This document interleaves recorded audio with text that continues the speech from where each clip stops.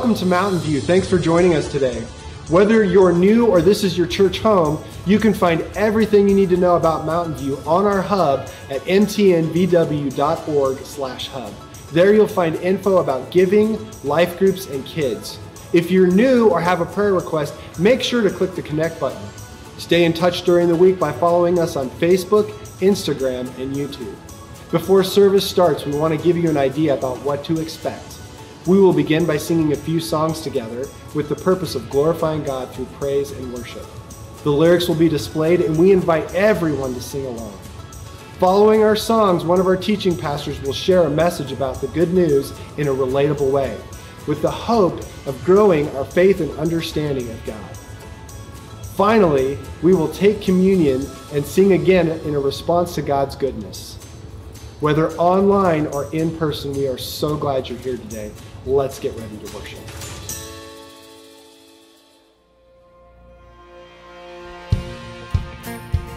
Hey, welcome, friends. Did you did you bring a voice to testify today? Come on, friends. We invite you to stand. Whether it's your first time joining us or you're part of our family, I invite you to sing these words as you know them. Sing it out. I saw Satan fall like lightning. I saw darkness run for cover. But the miracle that I just can't get over, my name is registered in heaven. I believe, say, I believe in signs and wonders. I have resurrection power. Yes, I do. eh. Still the miracle that I just can't get over. My name is registered in heaven. Yeah, my praise belongs to you forever. This is my testimony from death to life. Cause grace rewrote my story. I'll testify by Jesus Christ the righteous. I'm justified. This is my testimony. This is my testimony. Testimony, church? Lift up these words to him. Shout it out. Say, Come together, sons and daughters, bought with blood and washed in water. Sing the praises of the Spirit, Son, and Father, our God, will finish what He started. Say it again. Oh, our God will finish what He started. This is my testimony from death to life. Grace rewrote my story. I'll testify by Jesus Christ the righteous. I'm justified. This is my testimony. This is my testimony. And our testimony is our witness to Him, amen. All He's done in our lives, friends.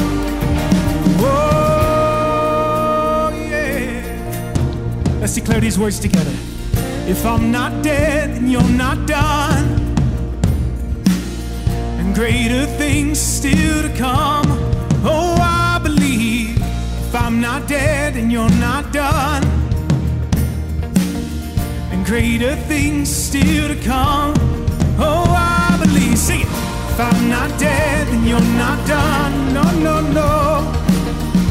Greater things still to come. Oh, I believe. If I'm not dead, then you're not done. And greater things still to come. Oh, I believe. We believe this is our testimony. This is my testimony from death to life. Cause grace rewrote my story. I'll testify by Jesus Christ the righteous. I'm justified. This is my testimony. Oh, I'm alive. This is my testimony from death to life. Cause grace rewrote my story. I'll testify by Jesus Christ the righteous. I'm justified. This is my testimony. This is my testimony.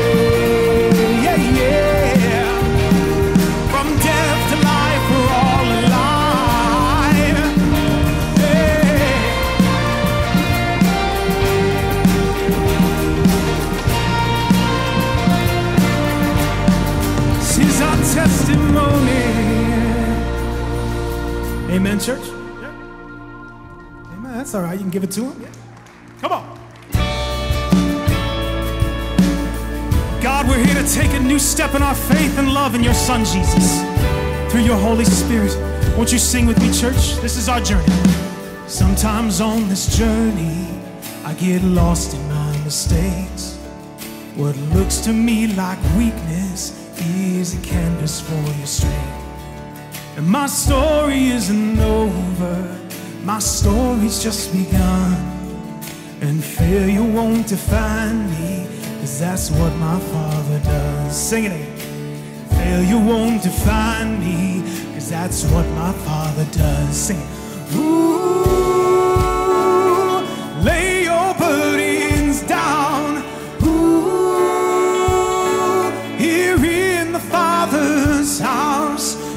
shame at the door, cause it ain't welcome anymore. Ooh, you're in my Father's house. Say. Let's center our hearts and minds on Him, yeah, church. You at home too. Arrival's not the end game. It. Arrival's not the end game. The journey's where you are. Never wanted perfect. You just wanted my heart. And the story isn't over if the story isn't good. And failure's never final when the Father's in. That's our redemption. Failure's never final when the Father's in our room.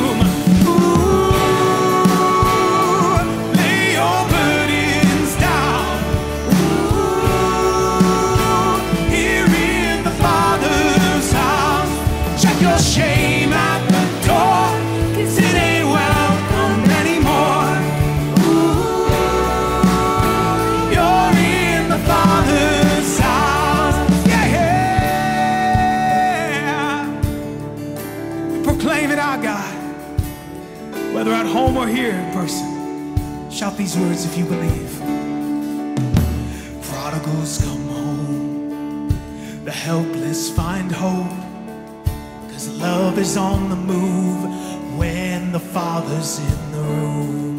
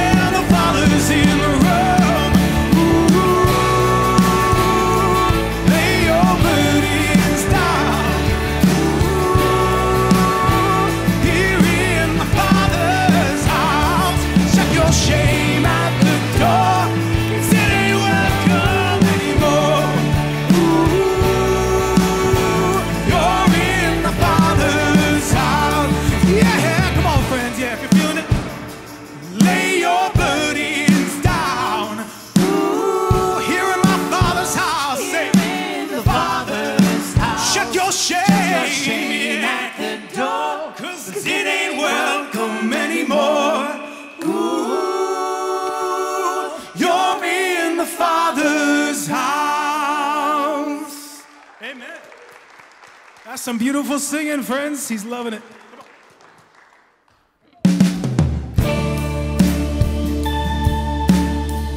But let's do more than sing, friends. Let's worship Him in spirit and truth. Would you confess these words with me? This is your story.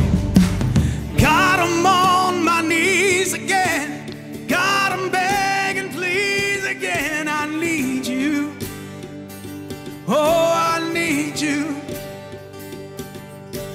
Walking down these desert roads, water for my thirsty soul. I need you.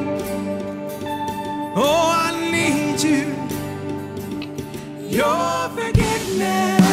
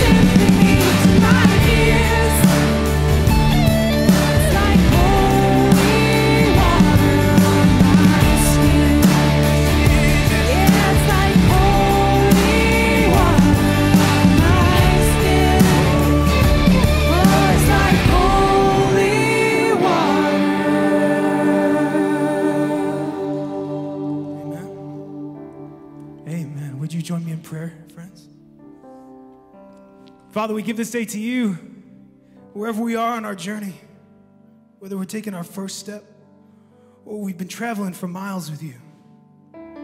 Father, we ask that you challenge us today in your spirit and in your truth, that you can speak into our hearts and our minds and take us on that next step with you, walking alongside us with Jesus as our guide as we follow him.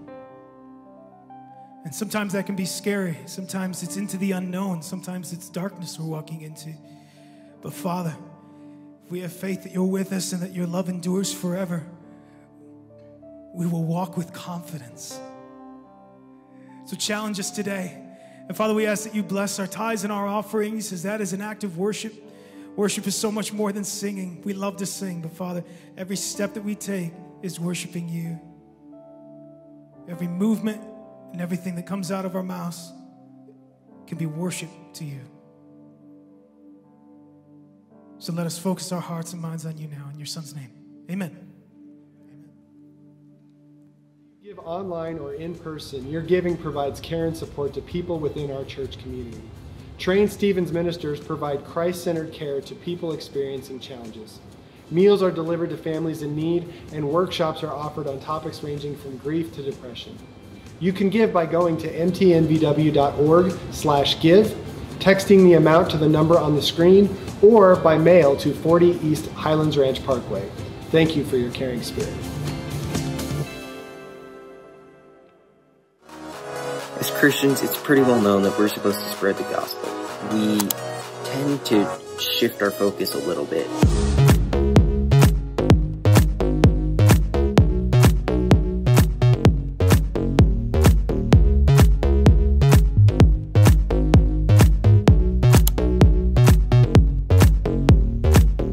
I encourage you guys, if you're one of the people who are getting caught up in likes and all that, just don't get caught up in that. There's so many more ways to spread the gospel.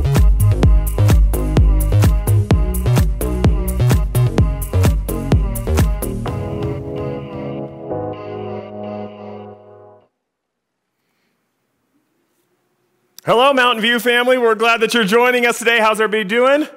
Good. Hi, everybody watching us at home, online, wherever you are. We're so glad that you're here with us on this awesome Sunday as we continue this series that we're in called More Than Likes. Now, before we get started, I just want to say those teenagers in that video are not just a bunch of randos, those are our kids. Those are our teenagers from this church. Two of them were on the stage today in the band, which I think is really awesome. Let's give it up for our awesome teenagers who get to be a part of what we do here in this space, I think that's really, really important. I'm so glad um, that they are a part of our band and all the cool stuff that we do here.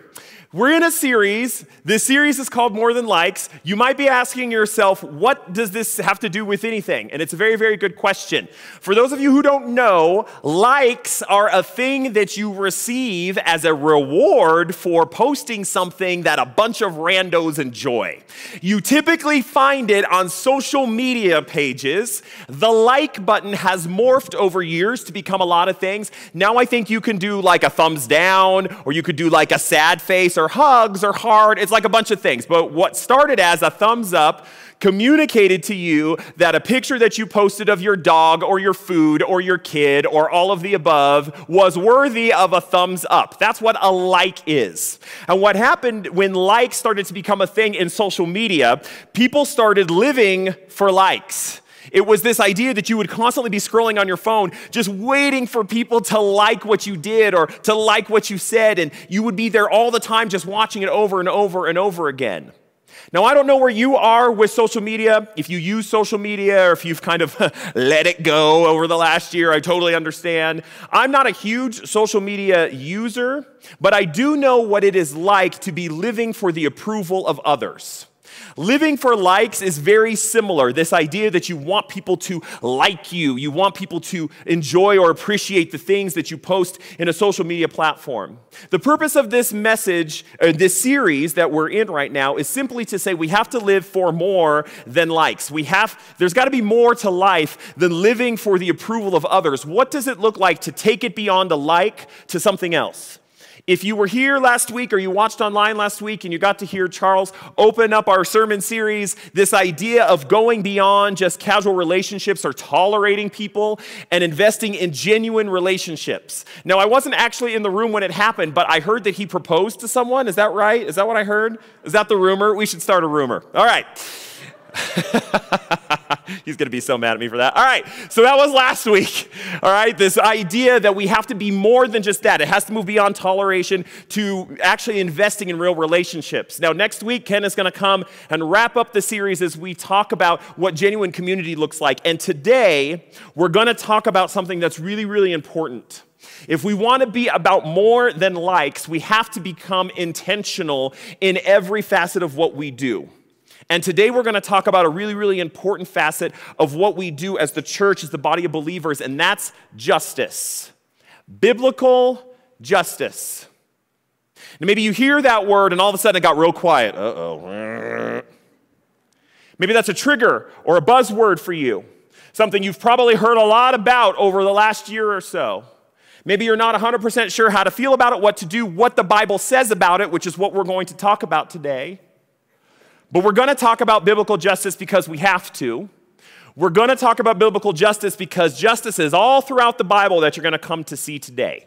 In fact, we're going to start with a story from the book of Third John. It's a letter that John wrote. It's kind of a tiny book. I, I, don't know that I would call it a book as much as I would call it a letter. It doesn't even have a chapter, it's just a bunch of verses, kind of like a page and a half in your Bible. We're going to start with a story that is the catalyst for our conversation about biblical justice today. Now, we're going to start in 3 John, but then I'm going to be all over the map.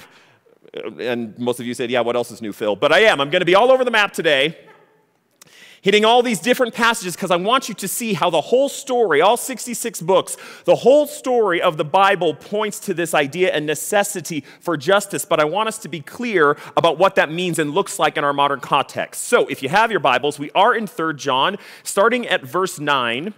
Let me set up a little bit of a context of what's happening here. There is a man, so John is writing to this man, and he's writing about a bunch of different things. And then we get to verse 9, and he starts talking about this tension that he's having, John is having, by a man by the name of Diotrephes. And so he goes on to this whole, it's kind of a rant a little bit, John does in verses 9 and following, about this man Diotrephes, who's a leader in the church, and some awful things that Diotrephes did. And this is how, this is where we begin with John in verse 9 of 3 John. He says this I wrote to the church, but Diotrephes, who loves to be first, will not welcome us. So, when I come, I will call attention to what he is doing, spreading malicious nonsense about us. Not satisfied with that, he even refuses to welcome other believers. He also stops those who want to do so and puts them out of the church. Whew. Drama.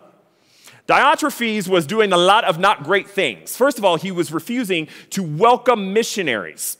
Okay, John had sent some missionaries to this particular church, and they get there, and he refuses to welcome them in or treat them with any hospitality. Culturally speaking, that is a giant slap in the face to John. It's personally offensive, and it's culturally inappropriate. If someone were to come to your house, you would welcome them as a family member. They'd no longer become strangers. The fact that Diotrephes did this and stood in the way of hospitality to missionaries is deeply offensive to John, as you can tell by his words.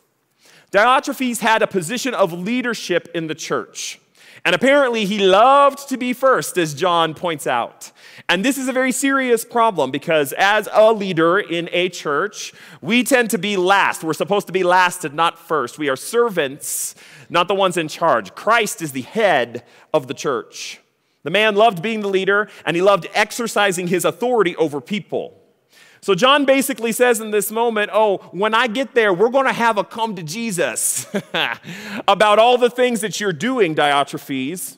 This is not going to be okay. You're prideful, you're self interested, you're a gossiper. You have refused to be hospitable to missionaries that I sent to you. You have prevented other people from being hospitable to those same missionaries. You have attempted to remove people from the church when they tried to be hospitable. And none of this is acceptable for a leader in the church. It's not okay. That is the context for what John is about to say next in verse 11. He says all of these things about this man Diotrephes and all the awful ways, and we're going to call out a bad actor when we see them. And then he says this in verse 11 Dear friend, do not imitate what is evil, but what is good. Anyone who does what is good is from God. Anyone who does what is evil has not seen God. I want to draw your attention for a minute to something very important here. There's these, these phrases that come in this verse does what is good, does what is evil. It's actually the same Greek word used for both. It's where we get our English word for mimic. It's imitate, it's mimic. Do not mimic evil. Diotrephes was mimicking evil even though he was a leader in the church. What you're supposed to do is mimic good. The point John makes here is clear. The person who does good proves with his actions, not just his words, that God is the center and the source of his life. And a person who mimics evil has not moved into a position of Christ being the center of their lives. This is like the age old phrase actions speak louder than words. They did back then, they still do now. The right words and the wrong actions never end well. Diotrephes is a great example of this because he was a leader within the church, and that did not happen by accident. He didn't just stumble on becoming a leader, he probably said all of the right things. He probably said all of the right things and had people convinced that he was good, but his actions were mimicking evil. And John wanted to point out this is how you can tell the difference. It's not in what they say, it's in what they do. And that's really important for us as Christians because as Christians, we are supposed to be mimickers of what is good, imitators of what is good. As children of God, we should be imitating the Son of God. Now, let me tell you what that means. It means a couple of things for us. Two things. First of all, it means that we have to be aware of whom we are looking to as our source and our inspiration. Who is it that we are mimicking? The answer to that should always be Christ Jesus. He's the one that we are called to imitate and to mimic. Who is it that we are looking to for our inspiration? And at the same time, having to realize and be aware of who is looking at us the answer to that part is the world, our world. So while we mimic Christ and look to Christ for that kind of inspiration, that holy inspiration, we also have to be aware that the rest of the world is watching us. They're watching what we say, they're mostly watching what we do, or maybe even more importantly, what we don't do. They're watching. And they're making assumptions and judgment calls about us, which leads us to the conversation that we need to have today about biblical justice biblical justice? Is God calling us to do more? I want to take a minute to set the scene for you about biblical justice. I'm going to draw, I didn't say it was going to be good, but I'm going to draw because I want you to have a visual idea of what we're talking about when we talk about this idea and this concept of justice. I think the best place for us to start is at the beginning and the foundation. The foundation of the building blocks that we're going to put together in biblical justice is God. God is the foundation of justice. In fact, in both the Old and New Testaments, when you see God described in the Bible, typically three words come in a, in a section together God is loving, God is righteous, and God is just loving, righteous, and just. You will have a hard time finding a description for God that doesn't include one or all three of those words.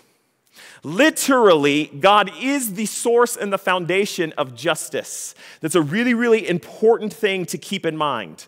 He is loving, He is righteous, and our God is a just God. This isn't something that the world made up. God is the foundation, it's how He's described. God is the foundation of justice. Now, in the Old Testament, if someone broke the law, they should be and oftentimes were punished in a manner befitting to the crime they committed. So, this is where we get the concept of an eye for an eye. The idea that if someone takes your eye out, then you have the right to get even and gouge out their eye. Justice. Aren't we glad that that's not where justice ended? because if that were truth, we would all be blind. In fact, we probably would have run out of eyes a long time ago. But that was the idea an eye for an eye. You did this to me, I get to do this back to you. That's fair, that's just. But in the New Testament, a shift happens. A concept of justice shifts from this idea of eye for an eye mentality to an attitude of this inner transformation that moves us beyond our actions or our inactions. In other words, justice becomes internalized for the believer because of Jesus Christ. So now, instead of asking God, God, what is it that I, that, how should this person repay me for the wrongs that they have done to me? Instead of that being the question, the question now becomes, God, break my heart for what breaks yours. Do you hear the shift? The only reason that shift is possible is because of Christ Jesus. Which leads us to the second part of our building blocks. The foundation of justice is God. But then you got to ask yourself, why justice at all? Why? Why do we need justice? And the answer is easy you, me. We are the why behind justice. Humankind Humankind, God's most sacred and prized possession, is the why behind the justice. God created us in his image as we read in the Old Testament, and he saw that it was very good. Of all the things that God created, we are his most sacred and most prized possession because we are a reflection of the Creator. And in both the Old Testament and the New Testament, God shows very deep concern for humans and the issues that we deal with, issues that we created, by the way but he feels very deep concern for the issues we deal with. And because we are his most sacred and most prized possession, this is where we get the idea of the sanctity of human life. It's sacred and precious because God has made us sacred and precious. So, human life, human dignity, human flourishing, these are the why behind justice. These are the why behind justice. And now to Jesus who is kind of the centerpiece of this whole thing. In the Sermon on the Mount, a powerful, powerful couple of chapters in the New Testament, Jesus makes it clear that obedience to God goes beyond following the rules. It's beyond following the rules, but that you seek to put on an interesting phrase, the mind of Christ. You seek to put on the mind of Christ in everything that you say and everything that you do. And I want you to think about that phrase for a minute, what it means to put on the mind of Christ. The mind of Christ, the same Christ who entered into a community and entered into relationships with outcasts, tax collectors, lepers, women, people of different ethnicities. Put on the mind of Christ, the same mind of Christ who forgave those who were unforgivable and decided that those who had wronged him don't have to pay for it. That same mind of Christ. Jesus Christ introduces this new concept of justice into the world. And this new concept that he introduces is this idea of the need to make things right to make things right. This is a concept you actually see throughout the Bible. But one of the things you're going to start to realize about biblical justice that maybe separates it a little bit from our cultural understanding of justice is that biblical justice is always in the context of a relationship. Literally, the whole story of the Bible is about relationship, a broken relationship between God and man. And God, through all of these stories of the Bible, trying to make things right with us trying to reset the broken things with us. It always starts, justice always starts with relationship. Our relationship to God and making things right, our relationship to others and making things right. Jesus talks about this idea when he's asked about what the greatest commandment is in the Gospel book of Matthew. You can find the story in Matthew 22, 37, and 40. People say, what, what, Teacher, what's the greatest commandment? And Jesus replies, Love the Lord your God with all your heart, your soul, and your mind. This is the first and greatest commandment. A commandment, by the way, which you find in the Old Testament, was a law given to God through Moses. And then Jesus adds to it and says, The second is like it love your neighbor as yourself. And then he makes this huge proclamation all of the law and all of the prophets hang on these two commandments. All of the law, all of the prophets is the majority of the Old Testament. All of those things hang on those two things. Now, oftentimes we read that, you've probably heard that a million times, and think to yourself, yep, I get it. Love God, love others, check, done. Put it on a t shirt. Thumbs up.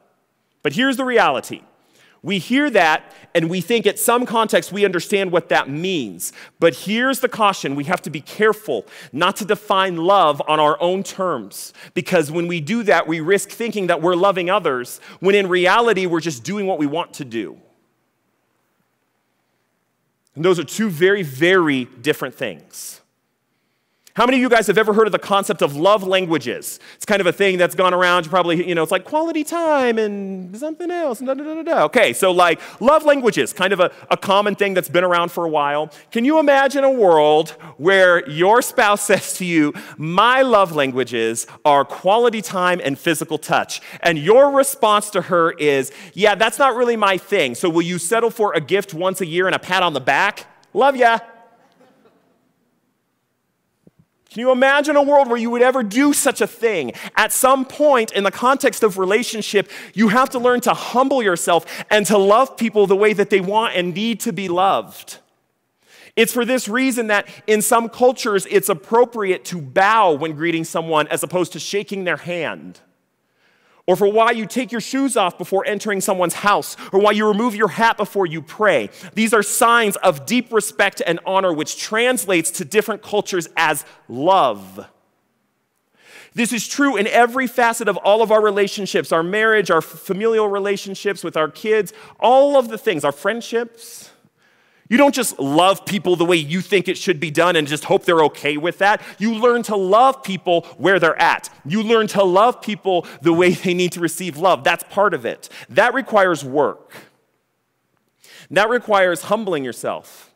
That requires submitting to someone else in the name of love. So we read love God and we read love others and we think easy peasy, but it's not as easy as it sounds on paper. It takes work, it takes effort, and it's hard, and we don't always get it right. That's what love is, and that's what love does. That's what love does.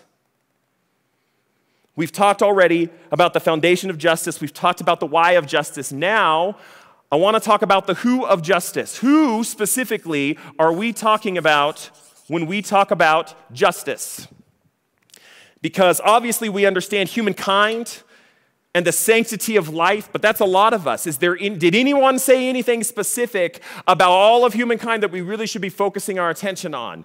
Good question. The answer is Jesus did, and you find it in the book of Matthew. Here's what's interesting about this concept of justice. We are not the first people on planet Earth to experience a world filled with injustices, and we are not the first people to not notice them all the time. I think that's part of the reason why Jesus made a habit of pointing out things to people that maybe they hadn't seen or they hadn't noticed before. I think that's why Jesus spent so much of his ministry on earth helping people who everyone else had dismissed and forgot about in an effort to help everyone else see the world through his eyes. You find a moment like this in the Gospel book of Matthew again. In this particular encounter, Jesus was comparing the righteous people to the unrighteous people. And this is what he says in Matthew 25, verse 34 through 40. He says this Then the king will say to those on his right, Come, you, will, you who are blessed by my Father, take your inheritance, the kingdom prepared for you since the creation of the world. For I was hungry, and you gave me something to eat. I was thirsty, and you gave me something to drink. I was a stranger, and you invited me in. I needed clothes, and you clothed me. I was sick, and you looked after me. I was in prison, and you came to visit me. Then the righteous will answer him, Lord, when, when did we see you hungry and feed you or thirsty and give you something to drink and so on and so on? And then the king will reply, Truly I tell you, whatever you did for one of the least of these brothers and sisters of mine, there's the key word, you did for me. Did you catch that? Jesus was saying that people who choose to do good and want to help others are people who see and look for injustice around them. They care about a group of people that Jesus calls the least of these, which sometimes is hard to define. So let me clarify it for you because there was a giant list there. But the least of these doesn't stop at the examples that Jesus gave. The least of these are those who need the most help, those who feel the most pain, those who get the worst treatment. Those are the least of these among us. And in every community, in every part of the globe, there are the least of these among us. So, what this means, what Jesus is saying, is those who recognize someone who's hungry or in prison or sick or left out, that we do something about it. We see the injustice in the way those least of these are treated. We see the injustice in their circumstances and we care about it and we act on it and we do something about it. And here's the why. Because when we care for those who are being treated as less than or left out, we are showing that our God cares about them and that our God loves them. Surprisingly or not surprisingly, justice has very little to do with you and about the God that loves you and wants you to demonstrate that love to others. Let's review for just a second. We have God as the basis in our foundation. And then we have the why of justice. Why? Because you, because humans, because of the sanctity of life, the high value that God puts on us. But that's a lot of folks. Who are we talking about specifically? Jesus says, the least of these among us. That's the who. Now we get to a very, very important part, the top of our little tower here. It's the how. It's the how of justice. This is the action. This is the action part of justice. And I want to point out something here, and I'm going to point it out with a line. Because this is where justice becomes unnecessarily controversial. We agree with everything below that line. As Christians, we agree with all of this. This is biblical, foundational. You can find it in your own Bibles. Look for yourself. Don't take my word for it. You can find all of these things, a precedent for this. Then we get to this.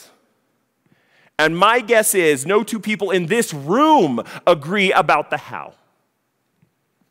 That's my guess.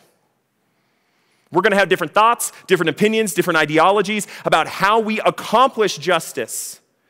From things like social justice, racial justice, basic human rights. Do we use money, laws, social protections, safety nets, politics? How? How? Here's what you need to hear me say don't let this disrupt what God put together. Don't let the culture rob us of our biblical imperative to justice. Can this be divisive? Absolutely. If you dismiss all of justice because we can't agree about this, then we are not doing what God has called us to do. Don't dismiss it. Look at all that we agree on. We have so much more in common than we disagree. As Christ's representatives on earth, we have a call to biblical justice. So to do nothing is to communicate to the world that God doesn't care about them, which is a lie. It's a lie. And lies are an imitation of evil, it's mimicking evil. And we have been called to mimic good. So here's the reality about justice. Sometimes because there's a biblical imperative for it, sometimes justice may require punishment for our inaction or our misdeeds in an effort to remind people, specifically God's people, of what is expected of them. Sometimes justice is going to mean punishment, but here's what you need to hear me say that kind of justice is not the same thing as being canceled. Being canceled implies that you're guilty and that's the end of the story. But those of us who are grace filled, spirit led, Christ believing people know that you can be guilty and loved and forgiven in the same breath. Sometimes justice means that those who are the least of these among us need some equity, need some help they need some equitable treatment within the community. That's not the same thing as being woke. Being woke is drawing attention to a thing, being aware of the injustices around us, which is a start. But being grace filled, spirit led, Christ centric people moves us beyond awareness to action.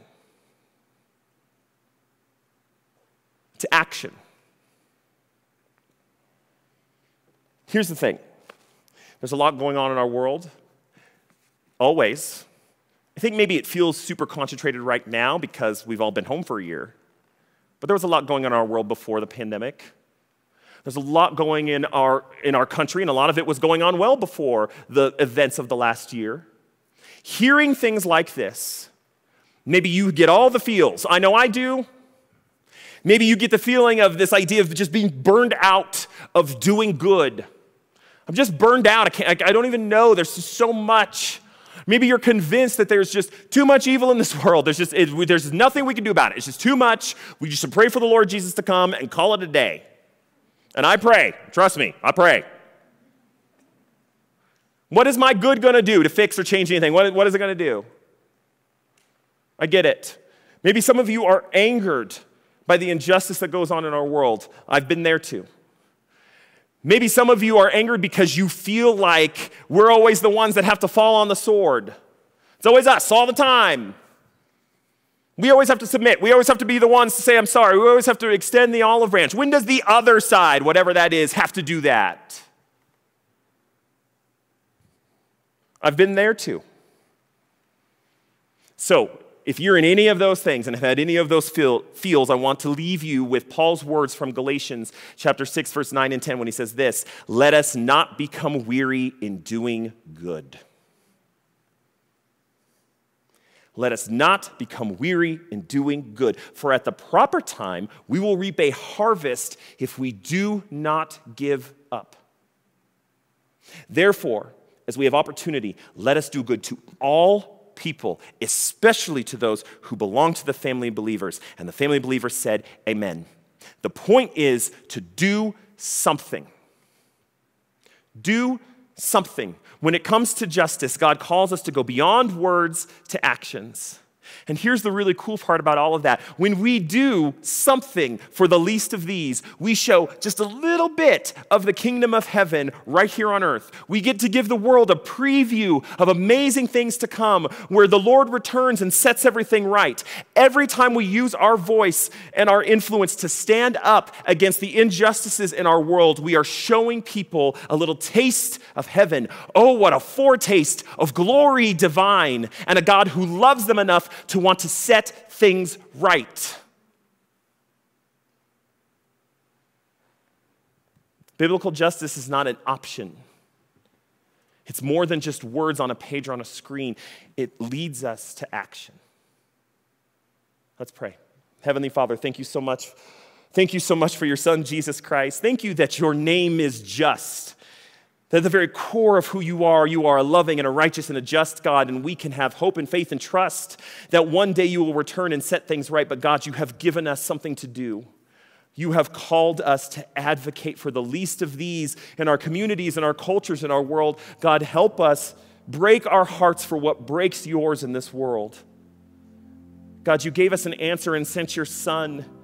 We have the answer and the hope the world's looking for.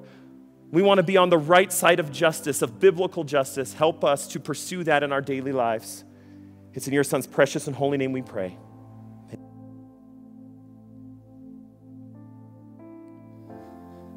Good morning. Now is a time for you to grab your elements uh, in the room here or online. Uh, grab your elements. And as uh, Phil's talking about justice, it reminded me this week I was in a class and we were studying uh, an issue of justice, um, domestic violence.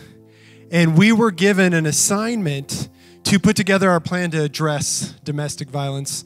And so I dove in. I made my list of stuff to watch out for, things to, to do, things to take care of. And then we, we took this to class and we got broken into groups. And I'm with my partner and we're kind of sharing, and he shares his element. And his element is first of all, I'm going to start with prayer. And then I'm going to do some of these other things. I'm going to end with prayer. And I went, oh my word. I can't believe that I missed that. Prayer, a pause, a conversation with God. And the reason that's so important when we approach this issue of justice is because God is the only one who truly knows what justice looks like. He's really the only one that, that he has no shiftiness about him. He has no agenda. He is pure justice. He is pure making things right. And so when we approach communion, the, it's important for us to take that moment to pause, to ask Him. See, what happens is when um, justice, when, when we go off and, and think we know what's right and we think we know what needs to be done and we think we know how to fix the problem, we can end up hurting rather than helping. And so, as we approach communion, I want to encourage you to take a moment to pause and to ask God, where in my own life do I need justice? Where in my own life do I need things to be made right? Where in those around me and the things that I'm involved in? Where does that where does there need to be a making right? See, communion is a remembrance of the ultimate act of justice. The ultimate act of making it right. At school, we talk about this idea when we're doing reflection on problems that we have to address we actually have this idea of what we call not what is the right thing, but what is the most redemptive thing. And so, as we consider moving toward action, that we pause and we ask God, what is the most redemptive thing? What is the making it right? How can I join you in doing that in myself and in those around me? Let's pray. Father, we thank you so much for this message. We thank you so much that you, through Jesus, made it right. That you have made a way for us to be made right. You have made a way for us to um, be able to uh, think and speak words, but also to, to provide action to the world around us. Father, let us not run ahead of you, but let us seek you to be re- redemptive in our actions to ourselves and to the world around us, to our family, to our friends, to our coworkers, to those that we uh, meet in at a Starbucks or in the store. Lord, let us be givers of redemption. We trust this to you today in Jesus' name. Amen.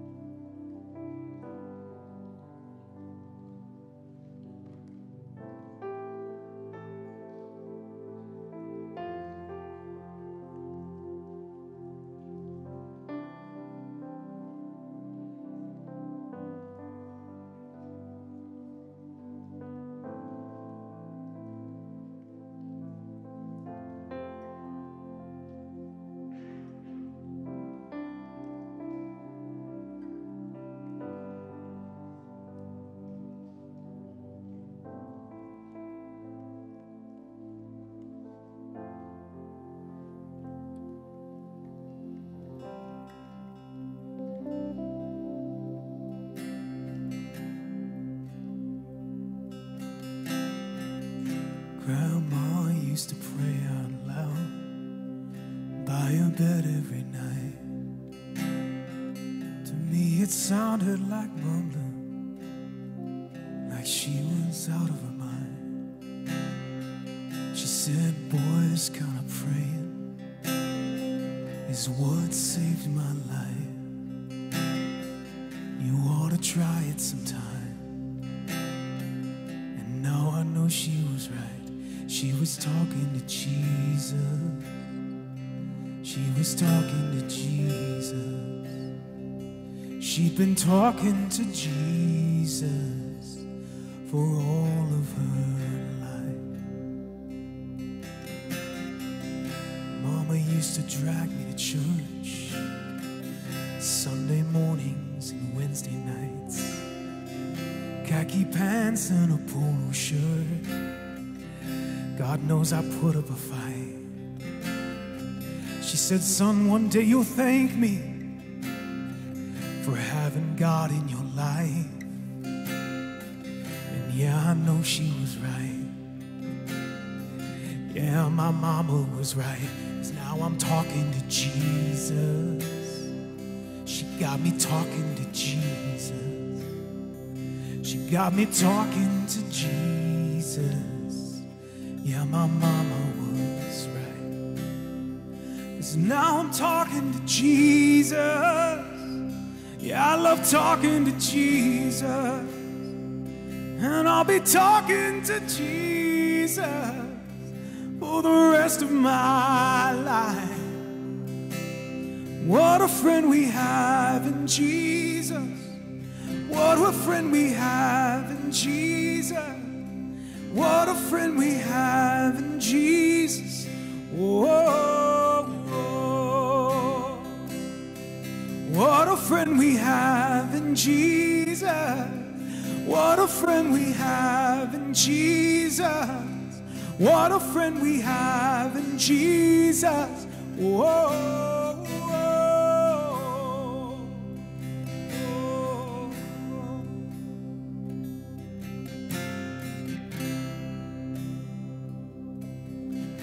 maybe someday I'll have a son of my own. He'll come knocking on my door one night and see me praying on the floor. He'll say, Daddy, what you doing? I say, Son, I'm talking to God. He'll say, Can you help me, Father? I'll say, just stand by me now. And then we'll start talking to Jesus. And we'll start talking to Jesus. We'll both start talking to Jesus. Whoa. Then he'll start talking to Jesus. I hope he's talking to Jesus. Yeah, he's talking to Jesus for the rest of his life. And what a friend we have in Jesus. What a friend we have in Jesus.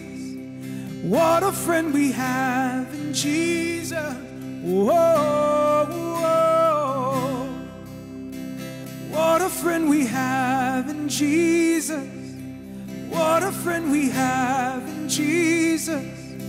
What a friend we have in Jesus. Whoa.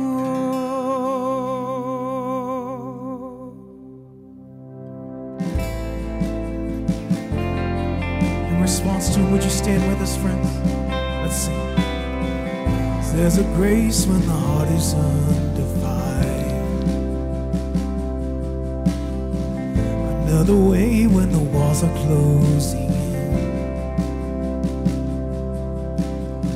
And when I look at the space between where I used to be and this reckoning, I know I will never be was another in the fire standing next to me. There was another in the walls holding back the seas. Should I ever need reminding of how I've been set free? There's a cross that bears the